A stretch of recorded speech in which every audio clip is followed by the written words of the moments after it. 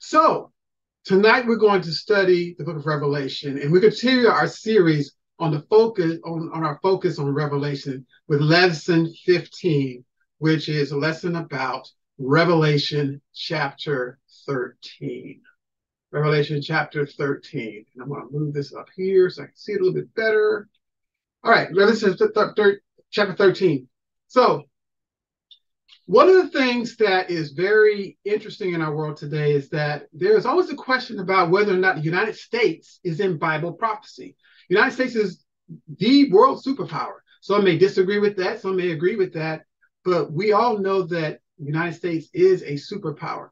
And there's always been a struggle between God and Satan, and, and that there is always this conflict that has started from the book of Genesis, started in heaven, and continues today. And so we wonder if if the United States is in Bible prophecy. And one of the interesting things here is that we're going to see if the book of Revelation reveals to us the rise of the United States and what will happen in the future.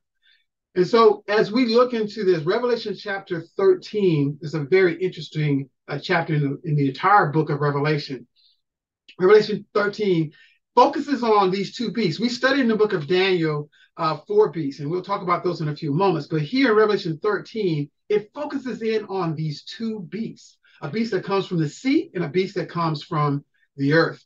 And so we're not going to have time to read everything and to dig deep into everything. But tonight we're going to go through uh, the book of Revelation, chapter 13. We're going to look at it verse by verse. We'll read a few verses and then we'll, we'll understand what's being revealed in the passages. So sit back, get your Bibles, Make sure you follow along with us as we dig deep into uh, chapter 13 of Revelation. So the Bible starts off here in Revelation chapter 13 saying, and as I stood upon the sand of the sea, here we find the revelator, John the revelator.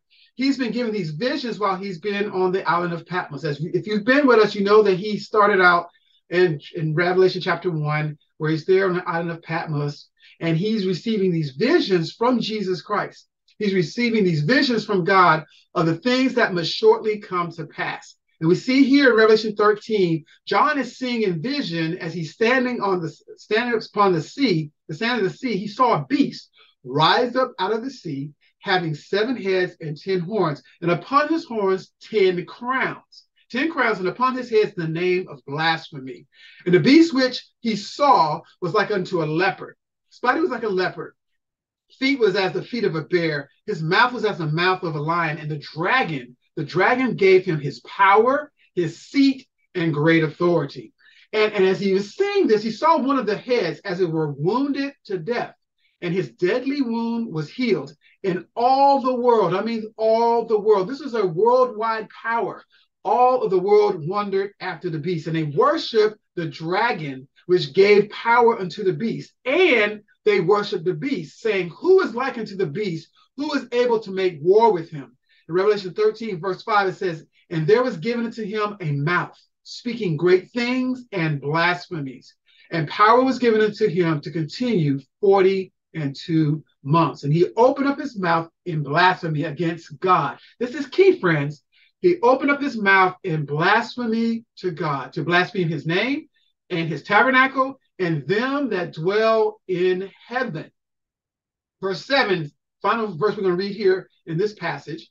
And it was given unto him to make what? To make war with the saints and to overcome them. And power was given unto him over all kindreds and tongues and nations. And so, friends, this is a, a marvelous uh, description of this power here. This beast with seven heads and has 10 horns and crowns upon the horns looks like the body of a leopard. It has the paws of a bear. Has has these this mouth of a lion, and we see it speaking blasphemy. So we're going to look at some some important facts about this particular beast because we want to identify what this symbol represents. And so the first thing we're going to understand about this is that a beast in Bible prophecy represents a kingdom, a nation, and a, or a king.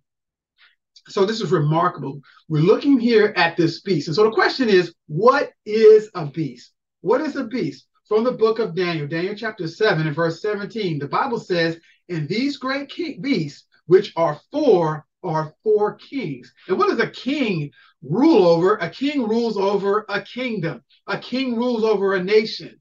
And it says here these great four beasts would rise out of the earth. And so here we understand that whenever we see beasts in prophecy, whether it's a bear, a lion, a, a leopard, we understand that the beast represents a kingdom or a nation. And so a beast represents a kingdom or a nation. And so the, the, the next thing we're going to see is that from Daniel chapter 7 that there were four beasts that was depicted there in Daniel chapter 7. And if you remember, these beasts were rising out of a great sea as he saw in vision in Daniel. And we see here this beast in Revelation 13 rising up out of the sea. And so when we understand this, we understand that these beasts of Daniel chapter 7 tells us that a beast in Bible prophecy represents a kingdom. And we also see something here that out of one of them, the last one, the fourth one, was this little horn. And we don't have a lot of time to go into it right now, but as you see on the screen, we see that the little horn does the same thing as we see this sea beast in Revelation chapter 13, with a mouth speaking great words, rising among 10 horns, and it goes out and makes war with the saints and prevails against them. And so we understand that this little horn of Daniel chapter 7 is this same beast power that we see here in Revelation 13. The little horn is the sea beast. And so, as we've looked at this, and this is all symbolism, where does the beast come from? Well, in Revelation chapter 17, it identifies that this beast is coming up out of the sea. So, what does the sea represent? The Bible says in Revelation chapter 17, verse 15, He said unto me, The waters which thou sawest, where the horse sitteth. And we're going to study this in just a few lessons where we studied over Revelation chapter 17 to understand this better, what who the whore represents and things like that. But the place where the horse sitteth are people. The water there is people, multitudes, nations, and tongues. And so we understand here that water or a sea represents an area of many people, a populated area, a place where there's a lot of civilization that is happening. And, and another thing that we see in this passage is that there is a dragon. So, who is this dragon? The Bible also tells us this. And, friends, as we are studying the Bible, one of the things you want to understand is that the Bible can interpret itself. You don't have to go to the commentaries, you don't have to go anywhere else to understand the Bible because the Bible can interpret itself. Nothing wrong with the commentary. Commentary helps us, but the commentary should always point us back to the Bible, and the Bible itself identifies the symbols within it. And we see here that the dragon, the great dragon, was cast out in Revelation chapter 12, verse 7. He was cast out, that old serpent called the devil and Satan, which deceiveth the whole world.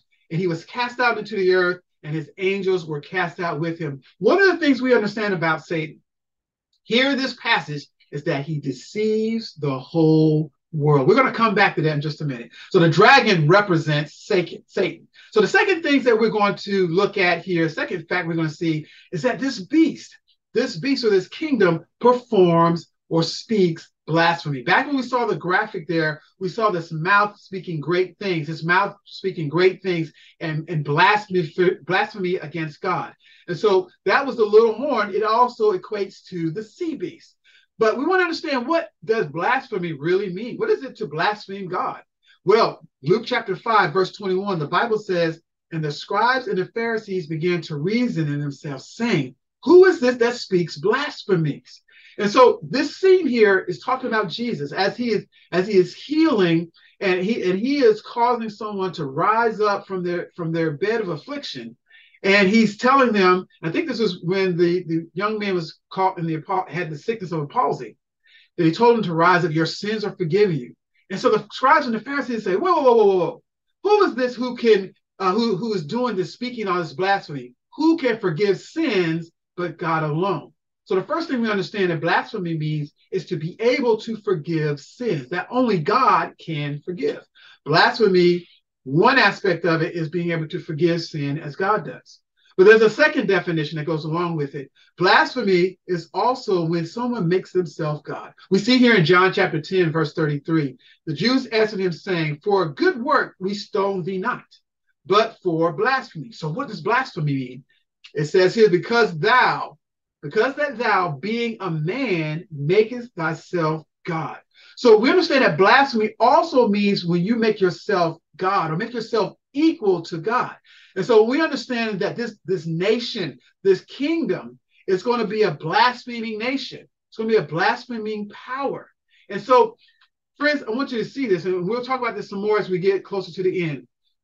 We understand that these powers that we see in Revelation chapter 13, these are not just political powers, they are religious powers because they inhabit or they talk about worship. The thing, the central thing that we will see here in Revelation 13 is centered around worship and that these beasts desire worship. So, this nation here, this kingdom, will have a leader who claims to be able to forgive sin. This is blasphemy. And blasphemy also says that this kingdom will be a leader, will have a leader that claims to be equal with God. So I took a look at some of the dictators that are here in the world today, because we know this is talking about the end times. And so I looked at Bashar al Assad or Xi Jinping or Vladimir Putin or even Kim Jong un, who we know these two last two are in the news right now as we speak. Did any of these dictators or these kings ever claim to be God? They may think they're God, but they go around claiming that they're God. And how many of them claiming to be able to forgive sin, not just of their subjects, not just of the people in their kingdom, but to be able to give, forgive sins for anybody and everybody in the whole world.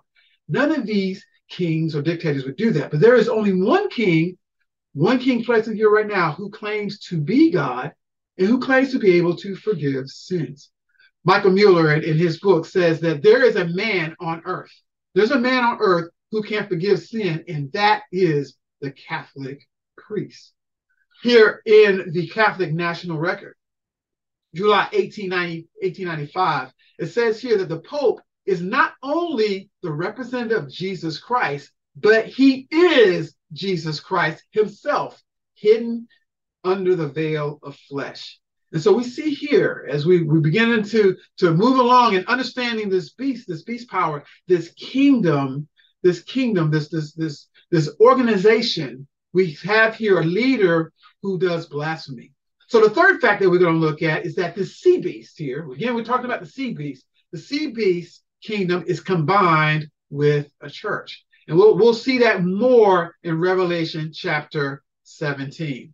Revelation chapter 17. We're going to move on past this. The fourth thing we see here is that the beast dominates the scene for 42 months. Now, friends, as you look through the Bible, especially the book of Daniel and Revelation, there's a time period that is called the 42 months or that is called the time times and half a time, or the 1260 days. And we've studied these time periods in our past studies in the book of Daniel and here now in the book of Revelation. We see it shows up seven times in the Bible.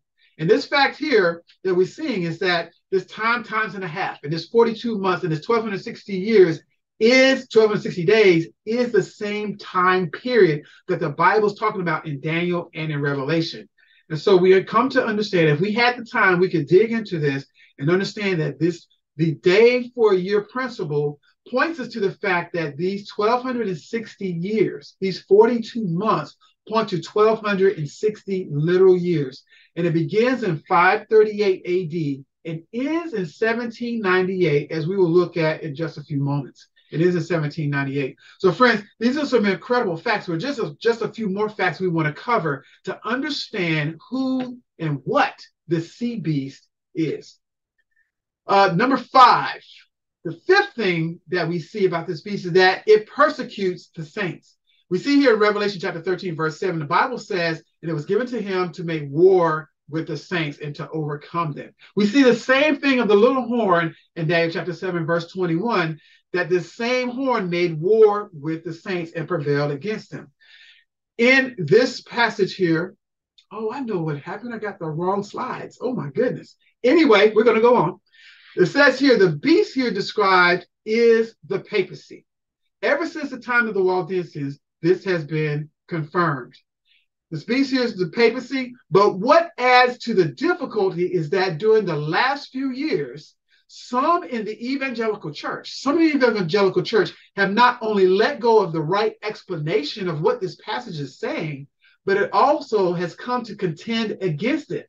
And although ever since the time of the Waldensians, this has been confirmed, By the blood of so many witnesses for the truth, it has been sustained at great cost by the Reformation. That the church, the church has persecuted. Only a tyro, and I had to look up the word tyro, only an imbecile in the church, in her church history, will deny that. And when she thinks it is good to use physical force, the church will use it.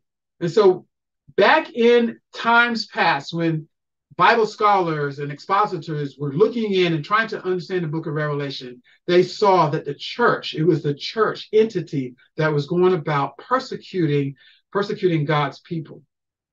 And so, friend, there's been a year, a time of the dark ages, many of us would talk about, where the church went through its worst persecution of God's people. But yet, we understand that this beast power will do the same thing or is doing the same thing. And this is how we identify it.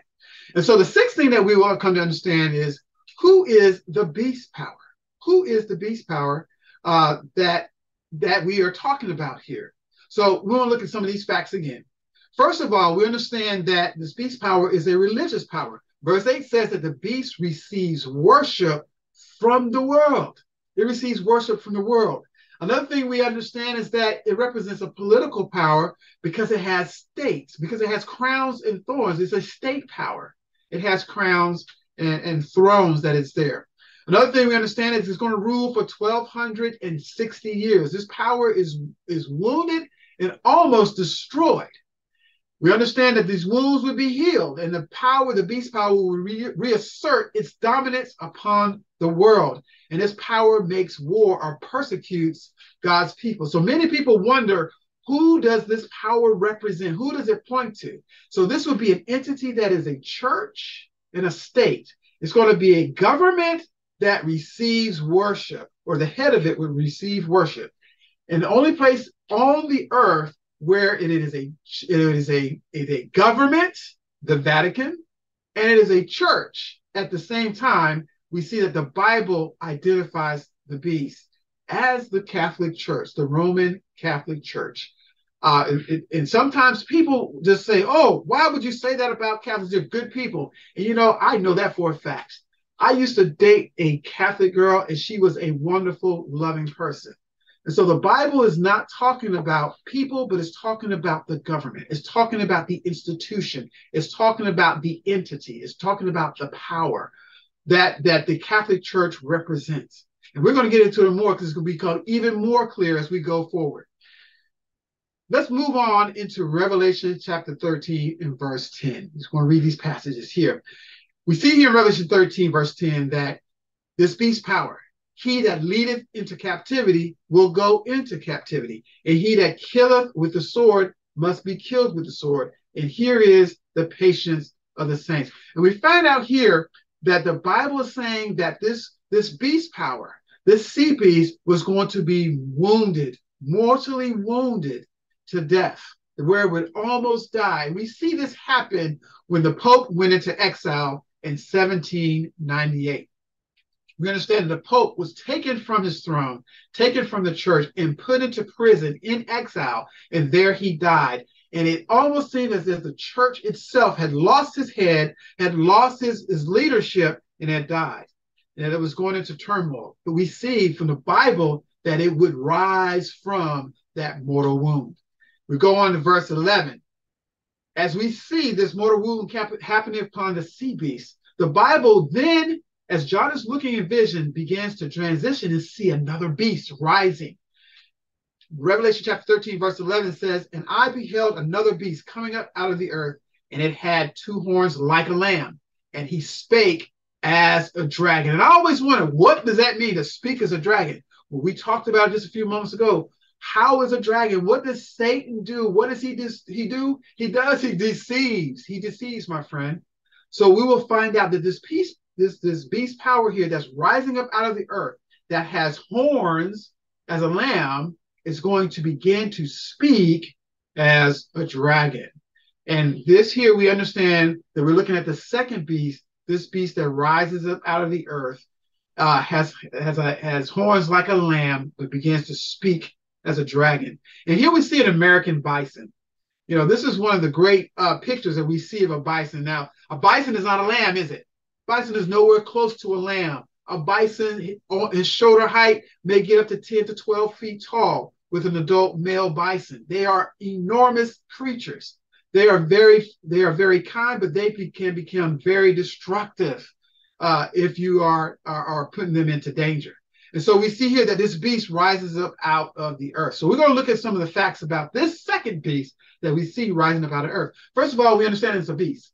That beast of Bible prophecy tells us that it represents a kingdom or a nation or a king. The second thing we see is that this beast rises up out of the earth. So if it's rising up out of the earth, it must be the opposite of the sea. And so, as we saw this beast, the first beast rising up out of the sea, is rising out of a place of, of population, of, of civilization, of places where there's a lot of people. The earth would represent a place that's unpopular or sparse with people. Not that it doesn't have any people, but it has few people. That's not great civilizations.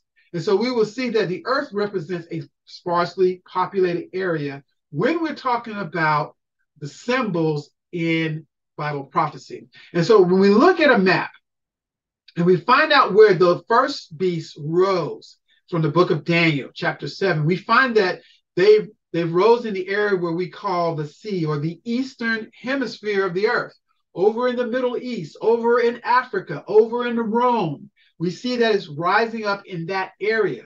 So we understand that if the sea represents that area of, of civilization, we find the Bible even begins in that area of, of the world, over in the area of Africa and and and and, and the, the Fertile Crescent, we see that the earth would represent a place of sparsely population, it would represent a place that's opposite of the area of the sea. And if we're talking about the eastern hemisphere on the earth, it's more likely that the Bible is letting us know that this second beast is going to rise up in the western hemisphere, in the Americas.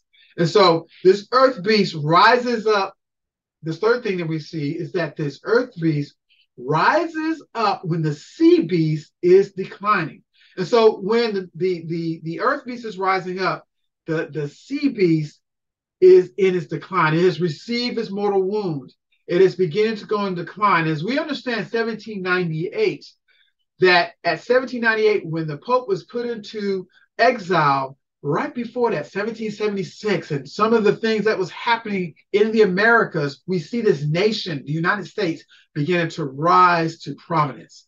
And this is an important thing for us to understand that it began to rise in prominence. The fourth thing that we understand is that this nation would not be run by a king, but that it would be a democracy. How do we know this? Well, we understand that this particular beast does not have crowns on its horns. It has two horns like that of a lamb, but it does not have a crown on its horns. This denotes that it's not a monarchy where it has a king or a dictator, but it is that a democracy is the opposite of a of, of a kingdom or a monarchy. And so the next thing we understand about this beast is that it is a nation that is very young. The Greek here, when you look into the Greek and do research on this, you understand that as it says that he saw a second beast rising up out of the earth, it is the same Greek word that that describes a plant slowly coming out and coming out with with that with tenderly out of the earth. And if you have a garden, if, if you've ever planted seeds, you understand when you water it and you've planted it and you have the sunlight on it, it begins to grow slowly but steadily out of the earth until it becomes a full-fledged uh, a vegetable plant or a tree or anything like that. So we see here that this this nation would rise up. It would be a young nation that would rise up, uh, and, and, it would be a, a, nation that has horns like that of a lamb. So this nation would be a very young nation. And this slide here is, is something here. I was going to take it out of here, but it just kind of shows this kind of progression of nations that were rising up at the time that the papacy received its deadly wound. We see Haiti and Canada and Australia rising up after the, the papacy be, received this deadly wound, but we see this here in the United States rising right before it in very close proximity of the time that uh, the papacy was going into decline. And the second thing we understand is that the United States rises to a, a, a prominence of world supremacy. And so we know that this thing is a nation, as we see here in number five, that this nation was a worldwide influencing power. this nation would be able to tell all the world to, to worship the first beast as we will go later on to this lesson. Number six, we see that this nation has Christ-like horns. And this is something that has always puzzled me and always uh, intrigued me, I should say, as we study this. You know, the closest parallel to this lamb-like horn in Revelation 13 is the ram in Daniel chapter 8. And, and we understand here from these two verses that this ram has two horns. One of them was higher than the other, but this ram has these two horns. And so this, this land beast, it represents a single nation. The two horns that it has within this single nation are two kingdoms, because we saw that in Daniel chapter 7 that these horns represent these different kingdoms. It represents these two kingdoms that coexist side by side on this beast. And so these horns are lamb like. They're lamb like, and they must represent two kingdoms that are recognized by Jesus, the Lamb of God. And so, what are these two kingdoms? Well, we remember the time when uh, someone came to Jesus and wanted to wanted to try to trick him into saying something wrong to get him persecuted and, and, get him punished. They asked him about this coin. Should we give to Caesar the taxes that's due him? And Jesus asked for the coin, and, and he said, "Let me see the coin." And so he looked at the coin. He says, in verse 21 here, he says that uh, that render therefore unto Caesar the things that are Caesar, and to God the things that are God's. Jesus recognizes the civil power. He recognizes the civil power of the state. And those things that belong to the state belong to the state. But he also recognized the kingdom of God. And those things that belong to the kingdom of God goes to the kingdom of God. And so we see here that these two horns coexisting on this, this these lamb-like horns at that, coexisting on this, this uh, earth beast, is two kingdoms that are represented there, that we see a kingdom of nation and we see a kingdom of church at the same time. And so as we looked at these different beasts that are showing up in the book of Revelation, we understand that the dragon, if we think about the religion of the dragon, would be someone who denies God someone who is going against God. That could be closely related to an atheist. And we see here the sea beast, as we understood, it is papal Rome. It is the, the Catholic Church. It is this, this uh, system of religion that claims the, the accolades of God, being able to forgive sins and to be worshiped as God. So, what does the earth beast represent? It must be a religious power as well. And as we look at this map, and I know it's very small here, we look at all the religions of the world where they are clustered there. In the blue, in the blue, there is a there is a religion that is dominant there in the United States, and that religious system is Protestantism. And so the the earth beast represents Protestant America. Protestant America. So we understand who this this nation is this kingdom, this kingdom must be a nation. It arises up out of a sparsely populated area. It rises up around the year 1798. It is a nation that is a democracy. And it also exercises worldwide influence. And the, the closest thing that we understand about this particular beast that we're seeing rise up out of the earth, it could be none other than the United States of America. The earth beast of Revelation chapter 13 is the United States of America. And the thing that's so important to understand is that the earth beast is representing the prominent religion of the United States of America. And with this understanding, we're going to see some, some incredible things revealed about what is going to happen in Protestant America.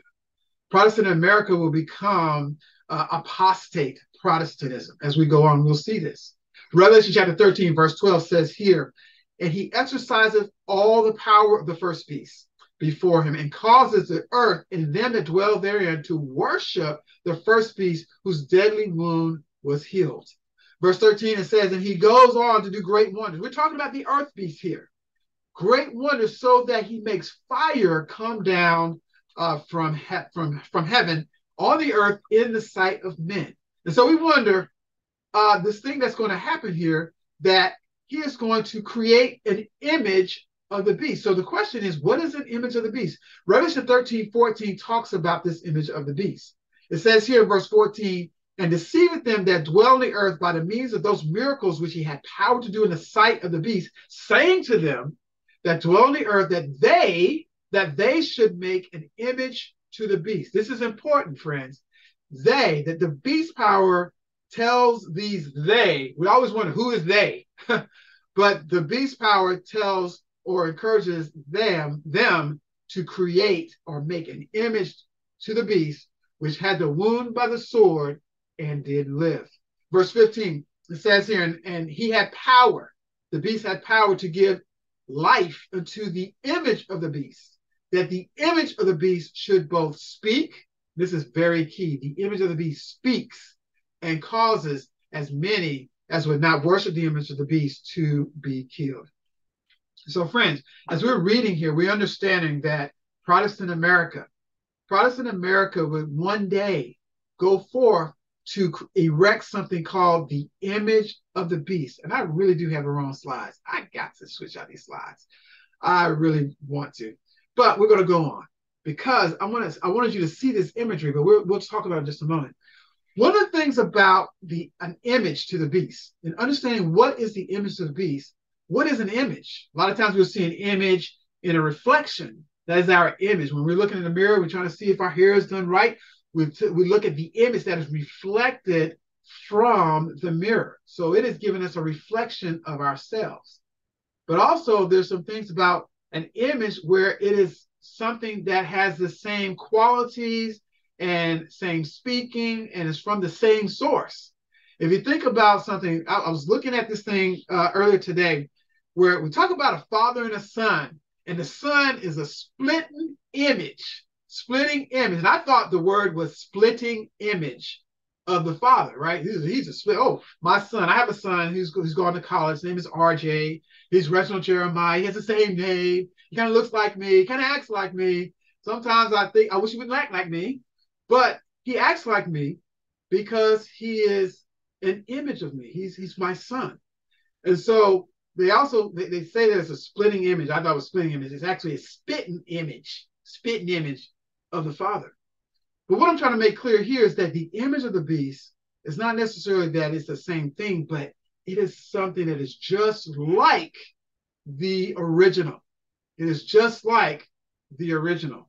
And so we're going to see here that we understand that the first beast was a beast power that received worship. We understand that the second beast is also going to set up something where it will receive worship. There's always this question in our in our government about should there be a separation of church and state? Should there be a separation of church and state? Well, Thomas Jefferson in 1808, he says this that erecting the wall of separation between church and state is absolutely essential for a free society. Thomas Jefferson is reflecting on the fact that when you have a monarchy, when you have a kingdom, and when you have a religious entity like the Catholic Church in charge of the state, it always results in persecution of those who are not part of that particular religion. And so Thomas Jefferson here widely saying that direction of the separation between church and state is absolutely essential. But we are seeing these things happen today where there is becoming an erosion or, or a breaking down of the wall of the separation between the church and the state. And as we see here in this graphic here, we see that as someone is trying to put up the wall, there is someone trying to tear down the wall. And you see who's trying to tear down the wall? That person is the church trying to tear down the separation between church and state. And so the Bible here is showing or depicting that this, this beast was going to cause everyone to worship the image of the beast. Revelation chapter 13, verse 16. It says here, and he causes all, both great, small and great, rich and poor, free and bond, to receive a mark in their right hand or in their foreheads. Verse 17, and that no man might buy or sell save he had the mark or the name of the beast or the number of his name. And so this is where we start getting into what is the mark of the beast. What is the mark of the beast? Well, first of all, it is the mark of the beast.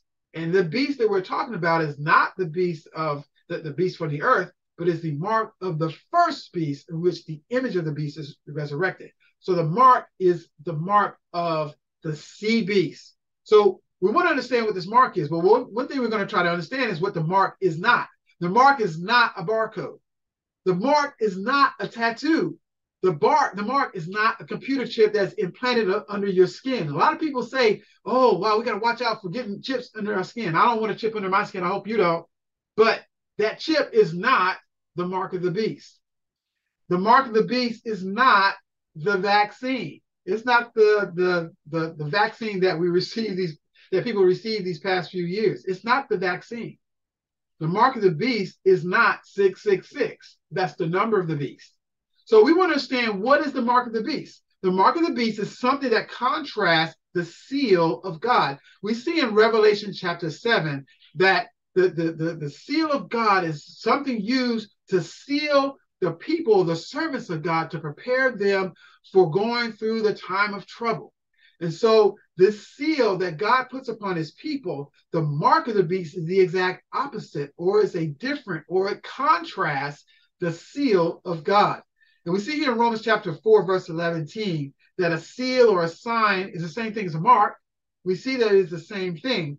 And, and in verse chapter, uh, in, in, in Exodus chapter 31, verse 13, the Bible tells us, tells us what the seal of God is. It says here in Exodus 31, chapter, chapter 31, verse 13, Speak thou also unto the children of Israel, saying, Verily my Sabbaths you shall keep. My Sabbaths you shall keep, for it is a sign between me and you throughout your generations, that you may know that I am the Lord that does sanctify you. So, friends, we understand here from Exodus chapter 31 and verse 13, and there and is in Ezekiel as well, that the seal of God is a sign between God and his people. It is the seal of God, it is the mark of God. And so we understand that the seal of God is the Sabbath. And so if we want to understand what the seal, if we understand what the seal of God is, then the mark is going to be something that's very similar, but it's going to be a counterfeit of God's seal. It's going to be primarily a counterfeit of God's seal. And God's seal is, is, is embodied in his Sabbath day. And so we see here from the Catholic record, we understand what the mark of the beast is, because we want to understand, first of all, that the mark of the beast is the mark of the beast. And if we understand what the beast is, we'll understand what his mark is. And so from the Catholic record in London, Ontario, September, September 1st, 1923, not too long ago, uh, 100 years ago, actually. Uh, the Catholic record says here that Sunday is our mark of authority. The church clearly says here what its mark of authority is, and that it is Sunday. The church is above the Bible, they say, and this transference of the Sabbath observance is proof of that fact that they have authority over the Bible. And there are a lot of quotes we could go through. We don't even have time to go through all of them. But we want to understand that there's a, an interesting contrast between God's seal and the beast mark. And so we understand that if God's seal is the Sabbath day, then Sunday is the mark of the beast. So the question automatically comes up man, I go to church on Sunday right now. I, I worship on Sunday every Sunday. Is the mark of the beast happening right now? No, the, the mark of the beast is not happening right now. So, friends, understand this that we've identified the beast, the sea beast. We've identified the earth beast. We understand that there is a mark of the beast that's here in, in Revelation 13, and that this beast is not, and this mark is not being imposed upon us yet. The time is coming where Sunday laws will be enforced in the United States.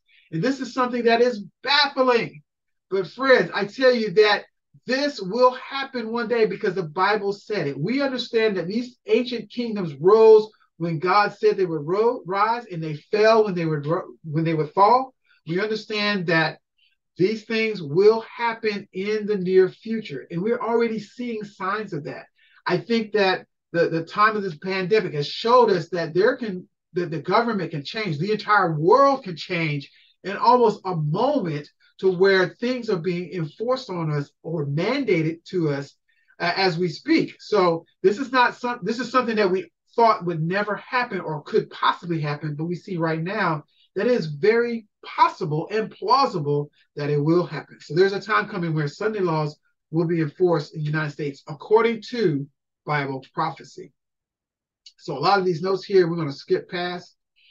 Uh, and this is really not showing all of the slides that I have ready to present. Oh, wow. Um, so let, let me see if I can get on to the end here. It, it, is, it is there. Am I still sharing right now? I'm going to switch up the slides because I need to show you guys. Yeah, you're still sharing. All right, all right. So give me just a moment. I hate that this happened, but let me get this back up for us. Because this is important for us to understand here at the end. Ah, yes, yes, yes, yes, yes, yes, yes. So hopefully I won't go over too much of the same thing. So we talked about the splitting image of the beast, but here, this is what I wanted to share with you all. This, this is this is powerful. Uh, we see here in this picture of where the, the Catholic Pope, Pope Francis, comes before the U.S. Congress. And this is something that is unprecedented in, in, in the history of the United States and in the history of the Catholic Church to that, to that fact. Um, so there was something I decided I would do. I said, you know what? I wonder if this was the first time or the only time the head of a religious institution came before the Congress of the United States. And so, you know who I was going to ask who would know the answer to everything? Chat GPT. Chat GPT knows everything. At least they thinks they does. So I thought that I would ask Chat GPT. And I asked Chat GPT this question. Has the head of a church ever addressed the US Congress? And of course, Chat GPT came back with the answer. Yes, the head of a church has addressed the United States Congress on several occasions. I was like, wow, several occasions. And so it goes on to say that one notable example, so one notable example is when Pope Francis, the head of the Roman Church, addressed the joint session of the United States Congress on September 24th, 2015. This historic address marks the first time a pope, now it says a pope here, a pope has ever before, has spoken before the joint session of the US Congress. And I was like, wow, that is amazing. I knew that, but there's some key things here. So I said, you know what? ChatGPT is really smart. Let me ask ChatGPT another thing here. So I asked ChatGPT, has any other head of a church besides Pope Francis ever addressed the US Congress? And it took a few seconds here, and then ChatGPT came back. Well, as of my knowledge, it says, as, as of my knowledge, cutoff date in September 2021, Pope Francis was the first and the only head of a church to address the United States Congress. No other head of a church had addressed the Congress prior to that historic event. So I was like, wait a minute, you said that it was one of many that, you know, that there was there was other people. But we see here, according to history, according to what has transpired in the world, that uh, the Pope is the first and the only head of a government that is a church to ever come before the US Congress. So again, we wonder the question about the, the church or state, we wonder about that. We see here that that prophecy is being fulfilled right before our very eyes.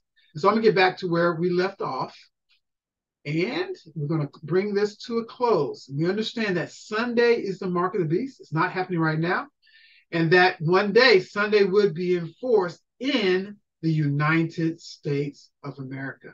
So we wonder how can the United States of America, this champion of democracy and individual rights, ever erect such an institution where it would enforce Sunday worship and would uh, denounce any other forms of worship. How could such thing ever happen? The Bible lets us know that these things will happen.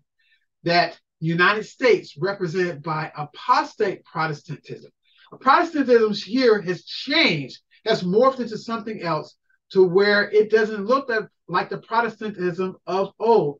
Protestantism is protesting against the atrocities of the Catholic Church. Apostate Protestantism is coming in communion with the Roman Catholic Church. And so we see here that apostate Protestantism will form an image to the beast. An image to the beast represents the church state institution. It represents that church state institution. So here's where we're going to conclude here. Revelation chapter 13 is revealing what's going to happen in the future. Revelation 13 lets us know that there are these things, these powers that are coming into play onto Earth's history, and that worship is the central theme in the last days. Worship is the central theme in the last days. So we wonder what is going to happen here in the United States. We understand that worship is the key issue in Revelation chapter 13, and it will be the key issue before Christ comes back. And so the other question that we we wonder is does worship really matter? Does how we worship, does how we come to God really matter? From the book of Revelation, we understand that it matters to God. It matters to him. And as we get into chapter 14 and chapter 15 and 16 and 17, we will come to understand that worship is a very important thing to God. And that the, the issue of worship, it first appears in the book of Genesis, where we see Cain and Abel, where they were bringing their sacrifices as, as a momentum of worship to God. They brought a different form, one brought a different form of worship, and the other one brought the type of worship that God wanted. We see that there's a conflict between worship in the very book of Revelation. And we see here, I'm sorry, in the book of Genesis, and we see in the book of Revelation that there will be a conflict of worship in the very end. Also, we understand that there is an issue between true and false worship. There is true worship that God uh, has asked us to worship Him, how He's asked us to worship Him, when He's asked us to worship Him, and the means by which we worship Him. And there's also false religion, which is where the devil is bringing in apostate Protestantism, where the devil is bringing in false forms of worship, false forms of, of, of times for worship, days of worship, there is this issue between true worship and false worship that we see here in the book of Revelation. And so the final question that we're going to really ask tonight does, mat, does worship matter to God?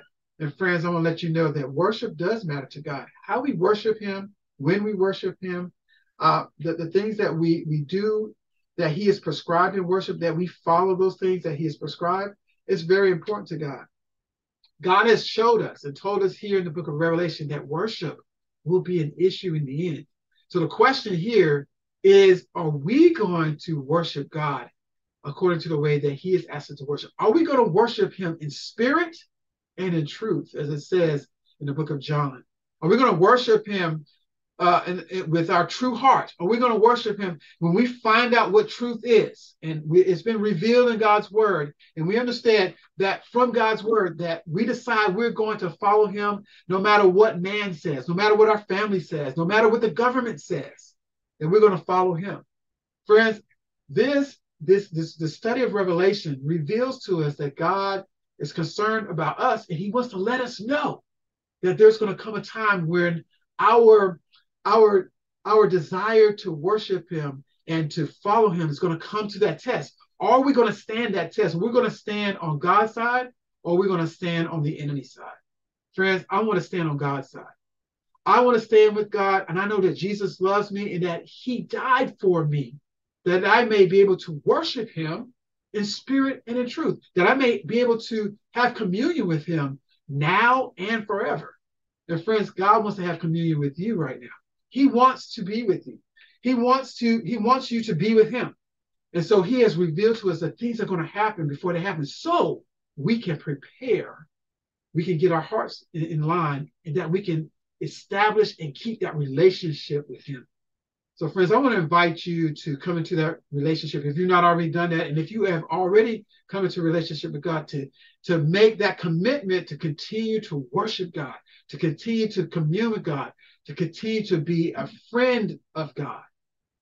And as we do so, that when the time comes with the mark of the beast, we won't be worried.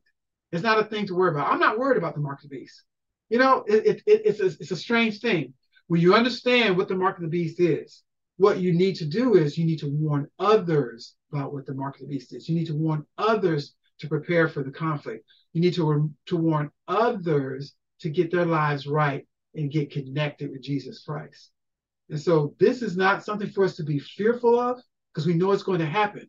But God reveals to us as we get more into revelation that He is going to protect us from this time of crisis. And so, friends, I want to encourage you to continue to put your hands in God's hands and continue to read the book of Revelation because there is more yet to come. And I'm looking forward to our next study that we get to into, I believe, next week. So make sure that you come back and worship with us, that you uh, read and study the Bible with us, and that you may become closer in understanding God's word.